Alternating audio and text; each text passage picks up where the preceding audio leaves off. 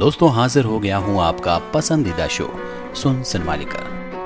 दोस्तों, बॉलीवुड किस्सों से भरा पड़ा है। फ़िल्म इंडस्ट्री के कई ऐसे किस्से हैं जो सदाबहार हैं।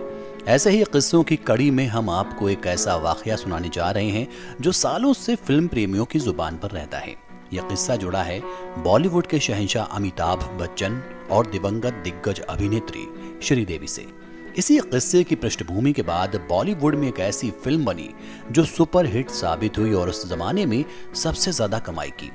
ये वो वक्त था जब श्रीदेवी सुपरस्टार थी और उन्हें फ़िल्म इंडस्ट्री की फीमेल अमिताभ बच्चन बुलाया जाने लगा था। उनके रहने भर से ही फ़िल्म हिट हो जाती थी।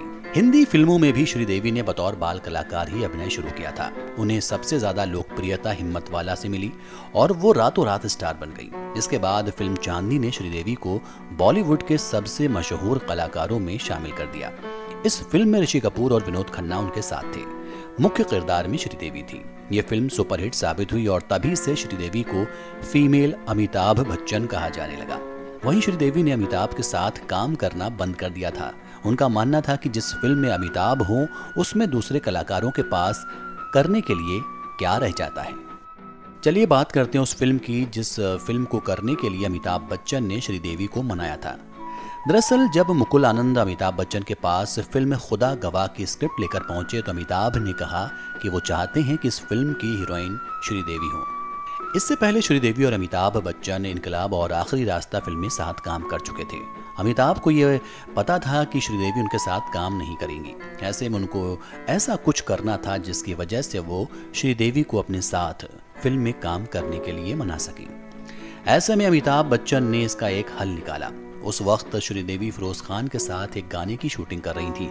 अमिताभ ने उस लोकेशन पर गुलाबों से भरा एक ट्रक भिजवाया। श्रीदेवी को पास बुलाकर ट्रक खाली कर दिया गया। इस तरह अमिताभ की तरकीब काम कर गई और श्रीदेवी उनके साथ फ़िल्म करने के लिए मान गई। हालाँकि उन्होंने एक शर्त भी रखी, जो ये थी कि वो इस फ़िल्म में डबल रोल करेंगी। श्रीदेवी इस फ़िल्म में माँ और बेटी दोनों का किरदार निभाना चाहती थी। इस तरह वो पहली हीरोइन बनी, जिन्होंने अमिताभ की फ़िल्म में डबल रोल किया। अफ़गानिस्तान के मज़ार शरीफ इलाके में अमिताभ बच्चन और श्रीदेवी की फ़िल्म खुदा गवाह की शूटिंग हुई थी। इस फ़िल्म की शूटिंग के लिए अमिताभ बच्चन जब अफ़गानिस्तान पहुँचे थे तो वहाँ के तत्कालीन राष्ट्रपति नजीबुल्ला अहमद जई ने अमिताभ की खातिरदारी अपने निजी मेहमान की तरह की थी। नजीबुल्ला ने देश की लगभग आधी फोर्स अमिताभ बच्चन की सिक्योरिटी में तैनात कर दी थी। खुदा गवाह साल उन्नीस सौ बानवे में रिलीज़ हुई थी।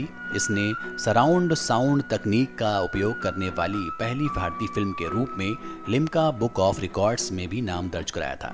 ये अफ़गानिस्तान के इतिहास में सबसे ज़्यादा देखी जाने वाली भारतीय फ़िल्मों में से एक है। इस फ़िल्म में डैनी भी थे। इस फ़िल्म में नागार्जुन से पहले संजय दत्त को कास्ट किया गया था और कुछ दृश्यों को फिल्माया भी जा चुका था, लेकिन कानूनी पचड़ों में पड़ने के कारण संजय दत्त ने यह फ़िल्म छोड़ दी। फ़िल्म का संगीत लक्ष्मीकांत प्यारे लाल ने दिया था। ये श्रीदेवी और अमिताभ बच्चन की एक साथ तीसरी फ़िल्म थी और इसे डायरेक्ट किया था मुकुल आनंद ने। तो दोस्तों, यहाँ मैंने आपको फ़िल्म खुदा गवाह से जुड़ी कई रोचक बातें बताई।